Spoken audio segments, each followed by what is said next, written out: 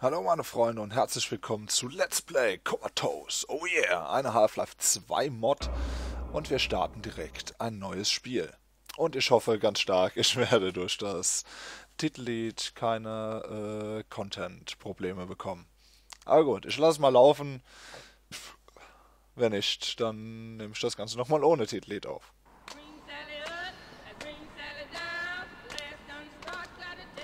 I speak.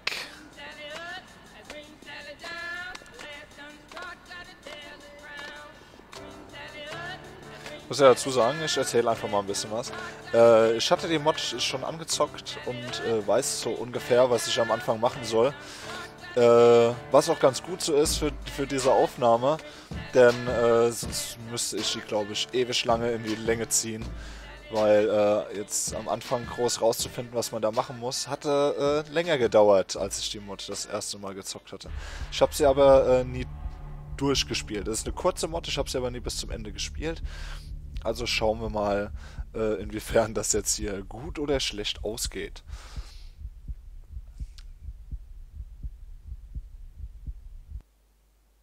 Lade Daten. Mal wieder.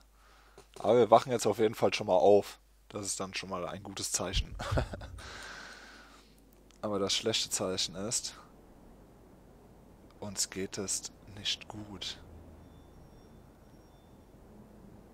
Wie man vielleicht an den Rand sehen kann. Ja. ja, wir verlieren Blut, wie man auch an unserer Gesundheit äh, links sieht. Und äh, hier haben wir schon mal eine Karte, wo wir momentan sind. Hier ist eine Tür. Okay, irgendwas mit Säure. Da ist ein Painkiller, also ich nenne es jetzt Painkiller, erinnert mich irgendwie an Max Payne 3, diese Fläschchen, zwei Stück. Ich lasse sie aber erstmal liegen, da wir noch relativ viel Gesundheit haben. Und wenn man hier äh, guckt, ja, man sieht mein Fadenkreuz nicht, wenn ich da raus ich da drauf schaue, aber hier, da ist etwas. Und zwar genau hier ist ein Safe. So, den machen wir mal auf. Ah, erstmal die Bilder hier wegräumen. So. Äh, erstmal ist hier ein Painkiller drin. Und hier liegt ein Schlüssel. Den habe ich am Anfang nicht gesehen. Ich habe den wirklich ganz, ganz schlecht gesehen. Und damit können wir hier diese Türe aufschließen. Wir wissen nicht, wer wir sind, warum wir so verletzt sind, was wir hier tun. Und hier ist eine Mixtur. So, wir brauchen erstmal irgendeinen Reiniger. Oder sowas. Äh, jetzt weiß ich gar nicht mehr, wo der war. Äh, da hinten liegt die eine Flasche, hier liegt die letzte Flasche. Aber wo lag nochmal die erste Flasche? Da. Flop, das erstmal rein. Dann brauchten wir die Flasche von hier hinten. Hm, na, nimm die Flasche. So. Die muss als nächstes da rein, denn wir müssen äh, ein Gemisch brauen, um diese Tür hier aufzubekommen. Und ich nehme hier gerade mal Painkillers. Da hinten liegt noch einer, warum kann ich den nicht nehmen? Na egal, wir haben jetzt erstmal wieder. Und dann brauchen wir noch äh, die andere Flasche die verbirgt sich hier. Die habe ich auch erstmal nicht gefunden. Die da. So. Fluff, und jetzt können wir das hier nehmen Tür aufmachen. So, die geht dadurch jetzt nämlich auf. Okay. Hier in dem Raum war ich auch schon. Okay, wir brauchen für die Tür einen Schlüssel. Da ist erstmal ein Painkiller. Oder halt ein Ding. Achso. Äh, hier habe ich auch ewig gesucht. Das Schlimme ist, wenn man halt stirbt, man, man äh, klar, man ist dann halt tot, ja. Und man fängt halt jedes Mal von vorne an. So, hier ist ein Fenster. Äh, why there's no fucking window handle, genau. Und diesen Window Handle müssen wir jetzt finden. Und der ist nämlich äh, hier oben versteckt. So, aber den haben wir jetzt auch schon mal. Also dran. Und Fenster auf. Ähm, hep. Langsam rausgehen. Nicht runterfallen. Ich bin runtergefallen. Okay, äh, da ich jetzt nicht mehr hochkomme, kann ich mich auch direkt hier in den Tod stürzen. Ah, Bams. Platsch, Sturzschäden. Shit. Doch eins zu weit runtergefallen. Das ist natürlich Pech. Okay, lade Daten. Aber wir fangen aber hier wieder im Fenster an. Okay. Äh, da gibt's einen... Äh, wow. Darkness and Ice. Ja, da gibt's eine, äh, ein Patch für die Mod hier die den Schwierigkeitsgrad, glaube ich, verringert.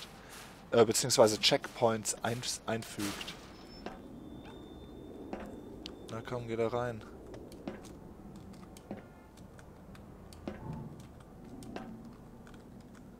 Achso, ich muss ja auch erstmal das Fenster aufmachen. Okay. Erstmal hier das, den Medischrank auf, denn da ist Verband. Sehr schön. So. Äh, jetzt verlieren wir zumindest keine äh, Gesundheit mehr. Ähm, wir brauchten aber ja noch einen... Ah, ich habe auch eine Taschenlampe. Cool. Äh, wir brauchten noch einen Schlüssel. Ah, hab jetzt doch noch ein Medikit aufgehoben. So, da ist nichts drin. Abgeschlossen.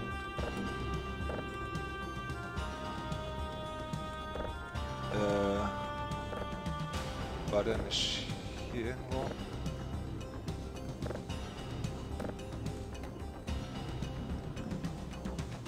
Ähm, shit, wo war der zweite Schlüssel? Da, im Mülleimer liegt er. Zack. Erstmal in die Tasche gesteckt, das ist schon mal gut. Und jetzt hier wieder rauskommen, ohne abzustürzen, bitte. Ecke. Oh, oh, oh, oh, oh. Nicht abstürzen. So. Jetzt kommen wir hier wieder rein. Okay, ich mache mal die Taschenlampe aus. Hier ist hell genug. Und jetzt können wir hier die Putze aufschließen. Oh mein Gott. Who is it? Ja, wer ist das? Wir haben das Gesicht schon mal gesehen. Hi. Ähm. Why there's a door? It locked.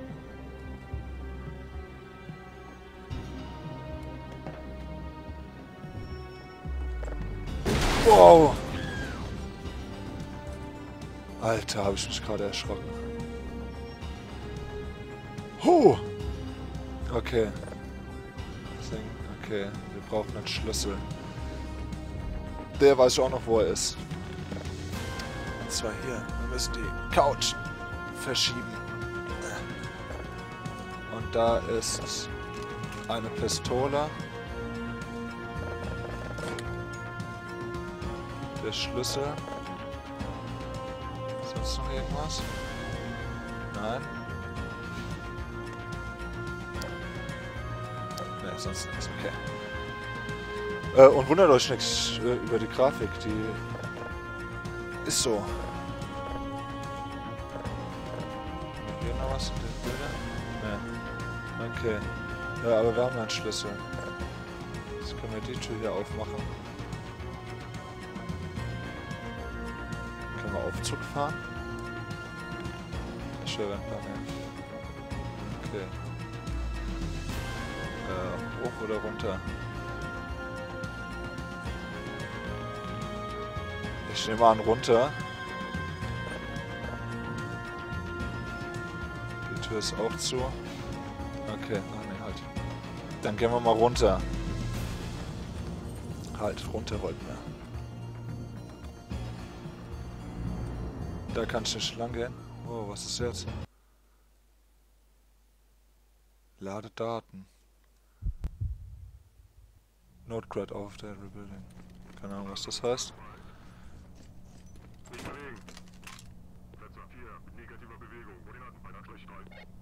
Was wollt ihr von mir?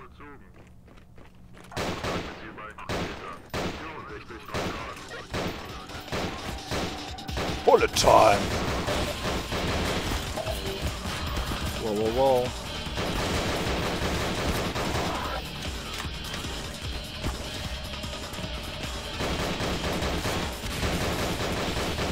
Oh, die werfen Nades. Schweine! Ah, nice. Fall tot um. 73% noch. Stirb!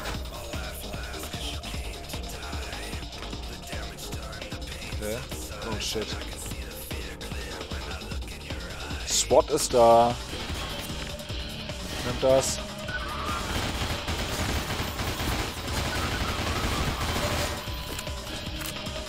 Okay.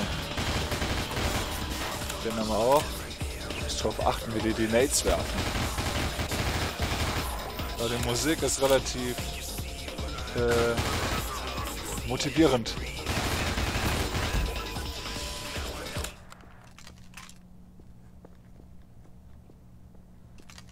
Need a car to get out of here. Das nicht. Hier das Bullenauto. Ich gehe mal davon aus, weil das ist das einzigste, wo man reingucken kann. Nein? Äh.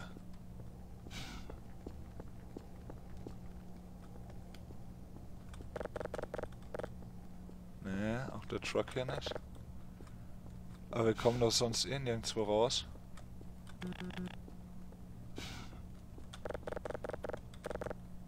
Oh, jetzt lädt wieder irgendwas. Lade Daten.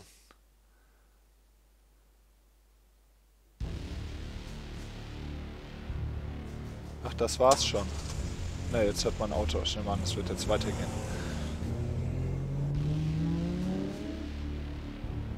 Auf jeden Fall sind wir schon mal geflüchtet.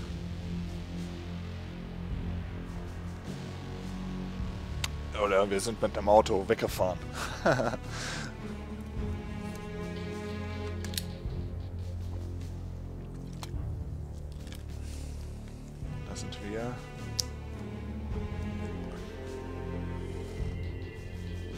Äh, das hier kann ich jetzt noch nicht, also das ist äh, schon blind. Ich hoffe, ich komme nicht nochmal so äh, Finde-Sachen. Was Gott, wie lange ich gebraucht habe, um den Schlüssel unter der Couch zu finden.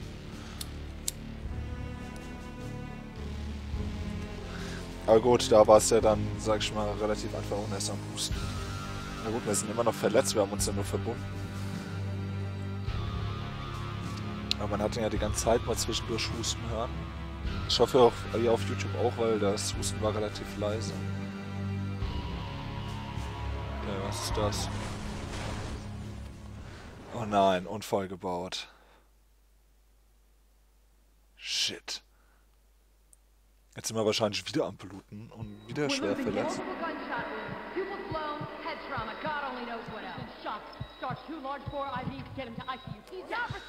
Ah, und wir kommen ins Krankenhaus. We're losing him. We're losing him. Und plötzlich stehen wir im Bett. Aber hey, wir sind nicht verletzt. Kann ich hier speichern? Spiel speichern. Speichern. Okay, speichern wir mal eine Runde. Nicht verwendbar. Auf jeden Fall eine Bluttransfusion bekommen. Ich würde aber sagen, äh, auch wenn der Part jetzt relativ kurz war, hier im Krankenhaus machen wir im nächsten Part weiter, Leute. Also bis dahin. Ciao, ciao. Hallo meine Freunde bei Part 2 von Let's Play Comatose. Äh, so, wir sind im letzten Part aus dem Bürogebäude geflüchtet und äh, haben dann einen Autounfall gebaut und befinden uns jetzt im Krankenhaus. Ja, ich frage mich ja auch, warum hat die Polizei auf uns geschossen? Na gut, die Polizei wollte uns verhaften, immerhin waren wir bewaffnet. Ich habe ja mehr oder weniger die Bullen erschossen. Aber ich nehme an, der hätte uns mit seinem Elektroknüppel totgehauen. Da gehe ich jetzt einfach mal von aus. Aber jetzt machen wir mal weiter abgeschlossen. Oh, und da gibt es auch schon wieder schwarzen Bildschirm. You crashed the car cause take to a local hospital because of... Wir haben Kopftrauma und äh, nach dem Unfall erlitten... Was, wir sind aufgewacht einen Monat später und haben eine Krankenschwester getötet? Okay, wir sind jetzt in einem äh, Gefängnis, äh, Hospital, äh, Krankenhaus.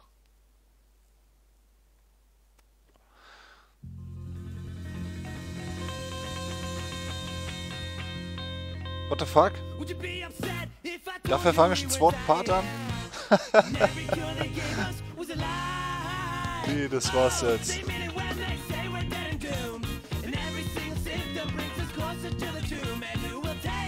Ja, ich war der Star. Oh yeah. Äh, schon vorbei? Gibt's noch einen zweiten Teil von? War's das? Mann, ich hätte den Mod gern weitergespielt. Oder hätte jetzt gerne gehabt, dass es noch länger geht.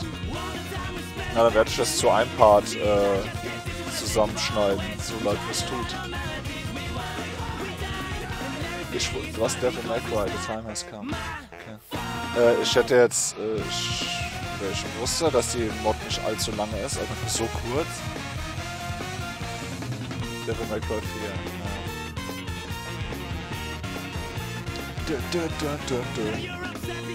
Ja. Und das war's jetzt, oder wie? Oder was? Oder passiert da jetzt noch was? Max Payne 2, The Fall of Max Payne. Okay, das ist schön. Dann machen wir noch ein bisschen Werbung für andere Spiele. Max Payne 2 war übrigens mein Lieblings-Max Payne Teil. Äh, was? Streetlight Manifesto, What to Green Cross.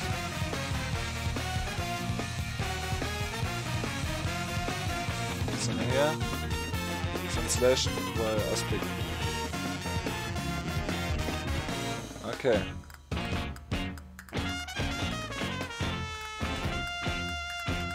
Special Thanks gehen an der, was?